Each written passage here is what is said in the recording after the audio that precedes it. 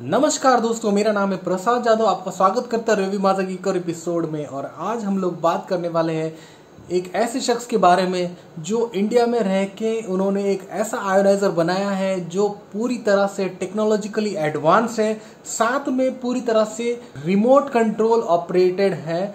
उसके अंदर उन्होंने बहुत सारे प्रोटेक्शन सर्किट्स भी लगाए हैं, जो अभी इंडियन मार्केट सिनेरियो में किसी भी आयोनाइजर में मिलना बहुत मुश्किल है।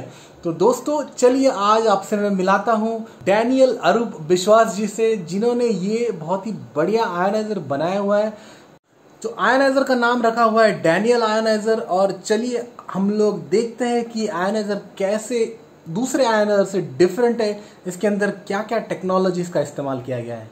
So without wasting any time दोस्तों, चलिए इस आयनाइजर को रिव्यू करते हैं।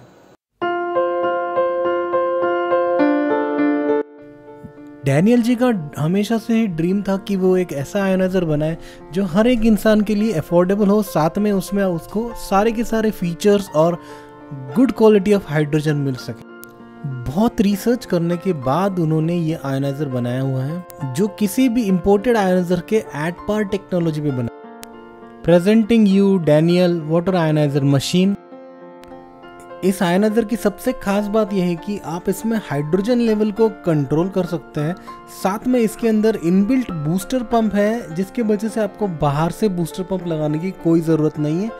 इसके अंदर रिमोट कंट्रोल पे आप इसे ऑन एंड ऑफ़ कर सकते हैं।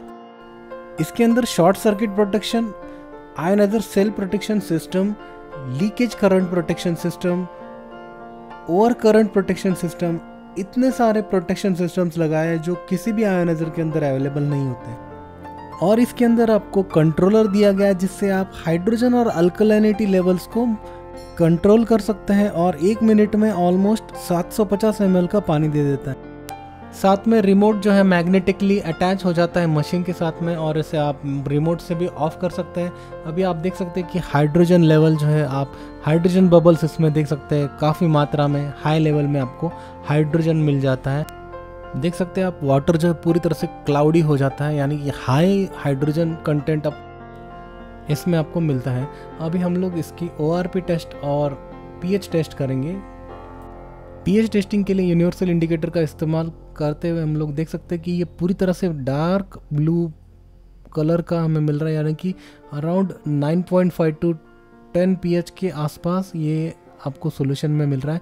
साथ में हम लोग ओ सोल्यूशन से चेक करेंगे तो इसमें आप देख सकते हैं ओ माइनस इसके अंदर आपको मिल रहा है। जी हाँ दोस्तों, आपको ये वीडियो कैसा लगा ज़रूर बताइएगा। अगर आपके कोई भी रिक्वायरमेंट्स होंगे आयनाइजर के लिए तो आप नीचे दिए गए नंबर्स पे कांटेक्ट कर सकते हैं। उनसे डायरेक्टली बात कर सकते हैं प्राइसिंग वाइजिंग सारी डिटेल्स आपको बता दी जाएगी। Thanks for watching please support Indian manufacturers और इस वीडियो को लाइक ज़रूर कीजिएगा शेयर ज़रूर कीजिएगा। Thanks for watching take care bye bye जय हिंद